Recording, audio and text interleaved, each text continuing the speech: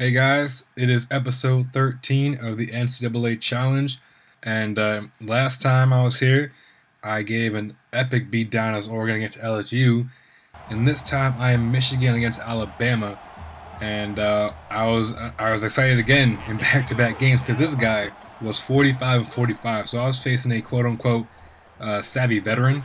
So I was thinking, all right, I'm gonna play against a really good guy, really good player, even though he's only 500 you know, overall, he still played. He's played a lot of games. He's seen a lot of things over the course of this uh, NCAA game and all the months it's been out. And uh, I don't blame picking Alabama because I was the home team, so he came into the match and saw me as Michigan. So I imagine he decided, all right, I'm gonna go against Alabama. I'm gonna go with Alabama to play against this guy. And uh, so I was hoping to get a good game going, and I started off really good. I got a pick there. Unfortunately, after this play right here, I could not get those three yards or four yards to get a touchdown, so I for a field goal and I was actually worried that um this guy, if I didn't score touchdowns every single time, I was gonna get like blown out or like just you know a really tight game. So I was a bit upset about that, and then I realized he's quickly he was a, a no huddle team, and he was a fourth down kind of player. So then I get this pick right here, touchdown, pick six. And I have to admit, I, not admit, I have to say, uh, I don't know how they play in real life. I've been saying this a lot about past teams and how they play in real life and all that, but uh, Michigan's corners in this game were outstanding. They were getting picks, and I had it on balance. I didn't even have it on conservative or aggressive. It was just on balance.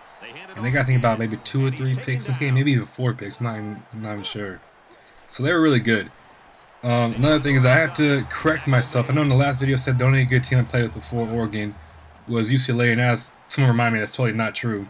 I played as USC, Wisconsin, and Stanford, and you can even argue Texas A&M were all good teams.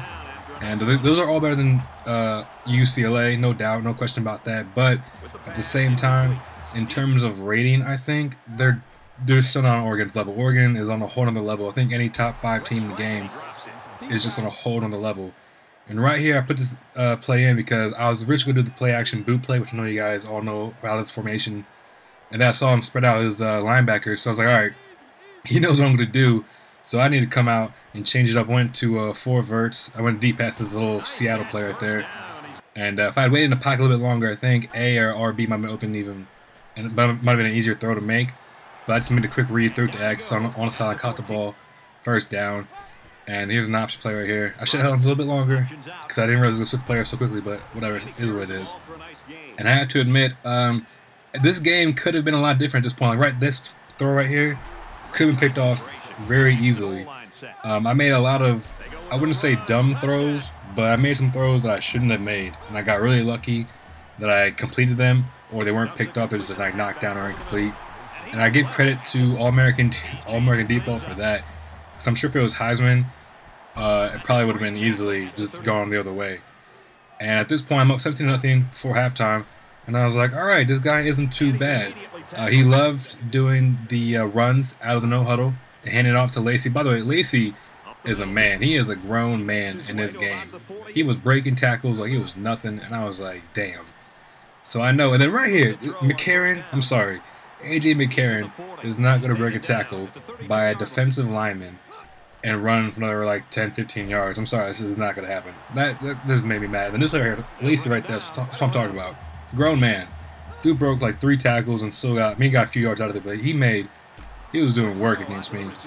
Uh, mainly because I was respecting the pass a lot more than the run, which, you know, was probably maybe a problem because Lacy is definitely a really good, like, great running back.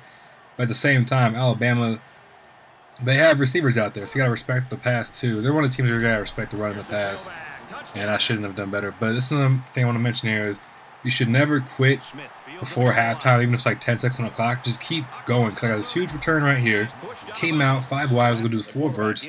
Look for a quick read. I saw, uh, who was this? Roundtree? Yeah, he got pressed. So I was like, I'm to throw to you once you beat the press. And then I knew Gibbons uh, had a huge leg because he kept on booting the kickoffs like all the way into the end zone. So I knew once I got that Hail Mary pass off and got out of bounds, and that was a really good move by Ryan, juke move by Ryan, that I had a chance to get a field goal. So instead of being going in halftime 17 to 7, I kept pressing, and I got 27 lead in halftime. So you got to keep, you know, keep going. Don't just like take a knee or run the ball and think you're not going to get anything. But at the same time, don't take unnecessary risks, risks and just throw it up. and when you have no chance in getting anything completed. And like I did right there, I just threw a pass for no reason. I got picked off. And I swear, once I threw that pick, and he returned it that far to uh, get into my red zone, red zone, pretty much, I was like, this is this is the worst thing that happened to me. Because I thought I was gonna like crumble under the pressure of playing guys 45 and 45. Well, luckily, I got picked right back, and I was doing okay. And this guy, this is what I love about playing with teams that have players like Shoelace, who people know you want to run with him. You want to use the speed, get out the pocket, run, come for like 15, 20 yards or whatever. Because they're used to people doing that against them. And for me, I mean, yeah, I love a mobile, I love a mobile quarterback to run around with. But at the same time, I'm a passer. Like I would love to throw for 400, 500 yards on you, and not run even for 50. So when he rushes on like two guys and he puts like two other defensive linemen in spies or zone coverage, I'm gonna sit back there all day long and wait till my receivers break off their routes and your cornerbacks don't even know where the hell they went, and I throw it to them and get a huge gain out of it. And I'm pretty sure he did that about two or three times in this video that I'm going to show you. And I'm thinking throughout the entire game, he might have done like four or five times. And um, which is fine by me. I'll throw that all day. And this is something I need to work on is sitting more patient in the pocket. Because I know, uh, I think on one play assigned this video, uh, the play, I was getting no pressure, no rush on me, but all my receivers were being covered really well. So I rolled out. And instead of uh, sitting back behind the line of scrimmage, I attacked the line of scrimmage and of course, receiver broke open, and but I got sacked on that play, so I was like, all right, whatever. And here's just a bad play by me, pursuit angles by both safeties. I got turned around. And the game's not quite over yet. I, I mean, at this point, I'm, I'm definitely kind of nervous. Uh, once he got that pick on me earlier in the game, I thought he was going to score at that point, and he didn't. It's another play right here where I just got bought, bought time through downfield. Then I got picked back. So, all right, still 27, I'm fine. I to score a touchdown. It's 20 to 14. I'm like, all right, now I'm a little weird. I need to score a touchdown right here to ease my, my worries, and I got that off. Again, he wasn't rushing me that well, so I'm going to throw it downfield, touchdown, and I was like, all right, this is good. This is good. I'm happy with 2010-14 lead. And uh, even, I think it was Brad, I think mentioned, I think on three different occasions in this fourth quarter when I scored. Spoiler alert, I score a lot of times in the fourth quarter. He kept saying this is going to ice the game, it's going to ice the game. Well, no, Brad, didn't ice the game. I was still worried.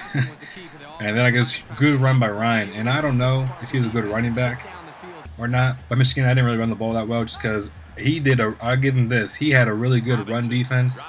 And again, he's just way buying time. I'm just buying time myself in the pocket. Uh, he had a really good run defense, and I had I had a trouble. I had trouble trying to get holes open and stuff like that. So I just stopped trying. Really, I just kept I just kept passing the ball. And another thing is that to another point about the whole if you're a, a spy, a defensive lineman, or whatever, when I do it, I like to have maybe, and this is just a really bad run. Basically, I run my entire defense. I did bad triangles my safeties again, and he got me a few times with, with those no huddle draws and you know runs off the side. He got me a few times on that. Real quick, this, this right here, this is what I wanted out of Oregon in my last challenge video. This is what I wanted. Instead, Robinson gave it to me this is why I wanted that that feel of adrenaline doing a great read option. Like yes, I, I was pumping my fist a little bit. I was like, yeah, that's right. That's a great read option by me. but like, I'm, before I get off track here, uh, you know, I like to do either defensive ends going to contain and I'm going to rush up the middle, or I'm going to put one of my D tackles in the spy and rush three guys. But I'm never ever going to put a situation where I'm only going to rush with only one or two guys. That's let's just, you know, ask for trouble. And right there, AJ McCarron got me down. I'm like, upset with that. Like, come on, AJ McCarron is not going to do that to me.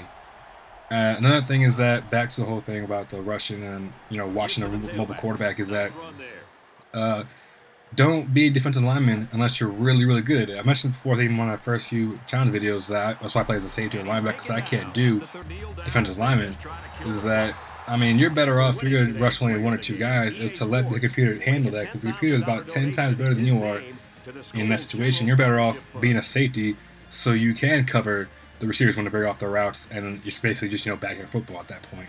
So, it's the end of the video, and uh, as you can see, it was the fourth quarter of just back and forth scoring, back and forth scoring.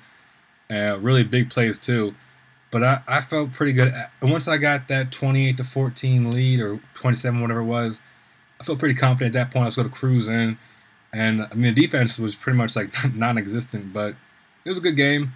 Uh, pretty good game overall. So I feel pretty content with it. And I, I feel like now going forward, if I play some of the uh, bigger boys and more experienced guys, I won't be quite as nervous going in because I just play a little bit conservative in the third quarter instead of continuing my usual offense where I attack downfield. So going forward, I'll be more confident and I'll attack the ball a bit more and have hopefully more good games like this. So I'll get my own ranking up and play even more challenging players like this guy could have or should have been.